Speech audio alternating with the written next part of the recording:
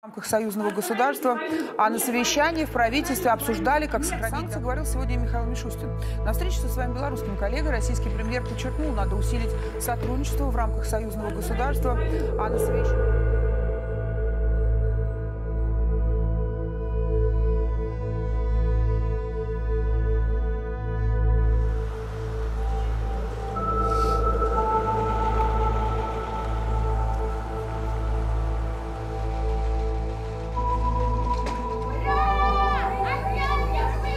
was my own anti-war decision.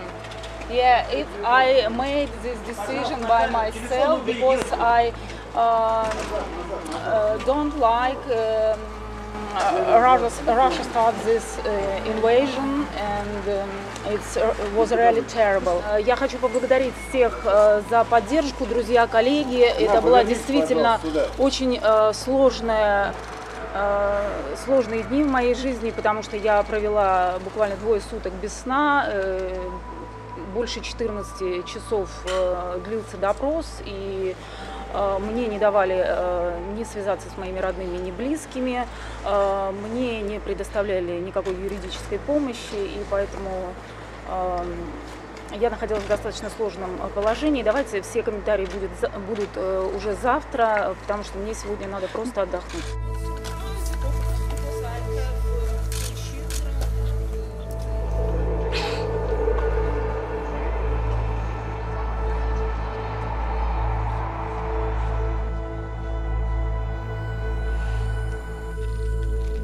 La France ici condamne très fermement tout emprisonnement de, de, journalistes comme toute manipulation et évidemment nous allons lancer les démarches diplomatiques visant à offrir une protection, soit à l'ambassade, soit aussi une protection asilaire à, votre confrère.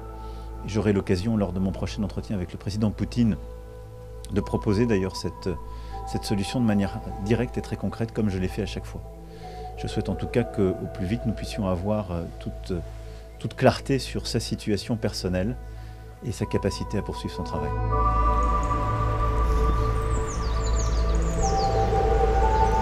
Of course, we followed the case of this very courageous journalist um, who took to live Russian television uh, to to make her views clear about, about the war and um, about the propaganda that is being spread uh, within Russia about the war.